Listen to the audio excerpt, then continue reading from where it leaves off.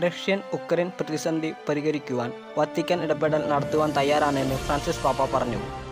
Italian മാധ്യമങ്ങൾക്ക് നൽകിയ അഭിമുഖത്തിൽ കാർദിനാൾ പീദ്രോ പരോളിനാണ് ഈ വെളിപ്പെടുത്തൽ നടത്തിയത്. പ്രശ്നം പരിഹരിക്കുവാനുള്ള ഇടപെടൽ നടത്തുവാൻ തയ്യാറാണെന്ന് ഫ്രാൻസിസ് പാപ്പ മുമ്പേ പ്രഖ്യാപിച്ചിട്ടുണ്ട്. റഷ്യയുടെ യുക്രൈൻ അധിനിവേശത്തെ തുടർന്ന് ഫ്രാൻസിസ് പാപ്പ യുക്രൈന് വേണ്ടി റഷ്യൻ എംബസിയിൽ നേരിട്ട് പ്രോട്ടോകോൾ പോലും നോക്കാതെ എത്തിയത് ചർച്ചയായിരുന്നു.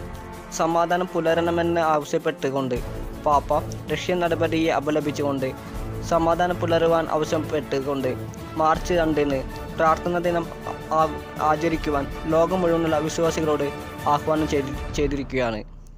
യുക്രൈന് ഫ്രാൻസിസ് പാപ്പ നൽകുന്ന പ്രാർത്ഥനയ്ക്കും ആത്മീയ പിന്തുണയ്ക്കും യുക്രൈൻ പ്രസിഡന്റ് നന്ദി പറഞ്ഞു.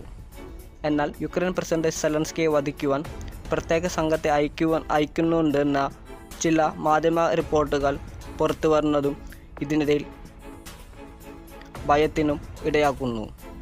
പ്രോട്ടോകോൾ വകവയ്ക്കാതെ പോലും റഷ്യൻ എംബസി സന്ദർശിച്ച് യുക്രൈന് വേണ്ടി സമാധാന സന്ദേശം നടത്തുന്ന മാർപ്പാപ്പയ്ക്ക് യുക്രൈൻ പ്രസിഡന്റ് സെലൻസ്കി നന്ദി അറിയിച്ചു.